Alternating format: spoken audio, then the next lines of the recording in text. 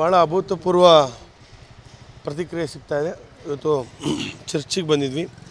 ಚರ್ಚಲ್ಲಿ ಫಾದರ್ನ ಒಂದು ಆಶೀರ್ವಾದ ತಗೊಂಡು ಎಲ್ಲ ನಮ್ಮ ಕ್ರಿಶ್ಚಿಯನ್ ಬಾಂಧವರು ಎಲ್ಲರನ್ನೂ ಒಂದು ಮತವನ್ನು ಯಾಚನೆ ಮಾಡಿ ಕುಮಾರಣ್ಣ ಅವ್ರದ ಒಂದು ಏನು ಪಂಚರತ್ನ ಯೋಜನೆ ಮತ್ತು ಅವರ ಪ್ರಣಾಳಿಕೆಯಲ್ಲಿ ಏನು ನಮ್ಮ ಕೊಟ್ಟಿದ್ದು ಅದನ್ನೆಲ್ಲ ಕೂಡ ಮನವರಿಕೆ ಮಾಡಿ ಎಲ್ಲ ಒಂದು ಕ್ರಿಶ್ಚಿಯನ್ ಸಮುದಾಯವ್ರನ್ನ ಮಾತಾಡಿಸಿ ಮತವನ್ನು ಯೋಚ, ಯೋಚನೆ ಮಾಡಿದ್ವಿ.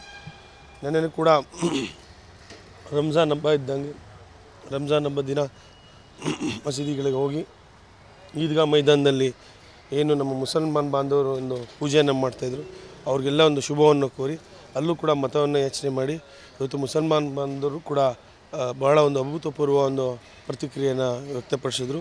ಎಲ್ಲ ಕೂಡ ಒಮ್ಮತ್ತು ಹೋಗಿ ಇವತ್ತು ಜೆ ಡಿ ಎಸ್ ಅಭ್ಯರ್ಥಿಯಾದ ನನಗೆ ಸಹಕಾರನ ಮಾಡ್ತೀವಿ ಅಂತ ಎಲ್ಲ ಆಶ್ವಾಸನೆ ಕೊಟ್ಟಿದ್ದಾರೆ ಸರ್. ನೀವು ನೋಡಿದಾಗ ಹಾಸನ ಕ್ಷೇತ್ರದಲ್ಲಿ ಟ್ರಯಾಂಗಲ್ ಫೈಟ್ ಅಥವಾ ನೇರ ನೇರ ಫೈಟ್ ಸರ್? ಇಲ್ಲಿ ಕಾಂಗ್ರೆಸ್ ಇಲ್ಲಿ ಹಾಸನಲ್ಲಿ ತಮಗೆ ಗೊತ್ತು. ಕಾಂಗ್ರೆಸ್ ಎಲ್ಲೂ ಹಾಸನಲ್ಲಿ ನೆಲೆ ಇಲ್ಲ. ಹಾಗೆ ಇವತ್ತು ನೇರ ಪೈಪೋಟಿ ನೀಡ್ತಾರೆ ಜೆ ಡಿ ಎಸ್ ಮತ್ತು ಬಿ ಜೆ ಪಿಲಿ ಸರ್. ನೆಕ್ಸ್ಟ್ ಈಗ ಕುಮಾರಸ್ವಾಮಿ ಅವರು ದೇವೇಗೌಡರು ಎಲ್ಲ ಯಾವ ಪ್ಲಾನ್ ಮಾಡ್ತಾರೆ ಅದನ್ನು ಒಂದು ರೇವಣ್ಣ ಸಾಹೇಬರು ಮತ್ತು ಕುಮಾರಣ್ಣ ಅಂತ ಕೂತು ಚರ್ಚೆ ಮಾಡಬೇಕು. ವಾಣಿ ಮೇಡಮ್ ಅವರು ಮತ್ತು ಸೂರಜ್ ಅವರು ಪ್ರಜ್ವಲ್ ಅವರು ಪ್ರತ್ಯೇಕ ದಿನಗಳು ಬಂದು ಪ್ರಚಾರನ ಕೈಗೊಂಡು ಅಂತ ಹೇಳಿದ್ದಾರೆ.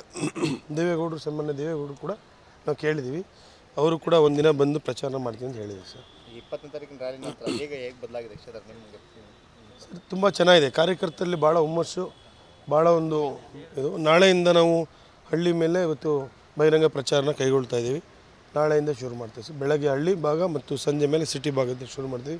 ಕಾರ್ಯಕರ್ತರು ನಮ್ಮಲ್ಲಿ ಜೆ ಡಿ ಎಸ್ ಕಾರ್ಯಕರ್ತರು ಭಾಳ ಗಟ್ಟಿಯಾಗಿ ನಿಂತಿದ್ದಾರೆ. ಮುಂಚೆಯಿಂದಲೂ ಕೂಡ ನಮ್ಮ ಜೆ ಡಿ ಎಸ್ ಕಾರ್ಯಕರ್ತರಿಗೆ ಏನು ಕೊರತೆ ಇಲ್ಲ. ಭಾಳ ಒಂದು ಉತ್ಸಾಹದಿಂದ ಪ್ರಚಾರನ ಕೈಗೊಂಡ್ತಾರೆ ಅವರೇ ಪ್ರತ್ಯೇಕವಾಗಿ ಅವರವರ ವಾರ್ಡಲ್ಲಿ ಮತ್ತು ಅವರೆಲ್ಲ ಹಳ್ಳಿ ಹಳ್ಳಿಯಲ್ಲಿ ಅವರೊಂದು ಪ್ರಚಾರನ ಕೈಗೊಂಡಿದ್ದಾರೆ ಸರ್. ಬದಲಾವಣೆ ಆಗಿ ನೂರಕ್ಕೆ ನೂರು ಭಾಗ ಬದಲಾವಣೆ ಆಗಿದೆ ಸರ್.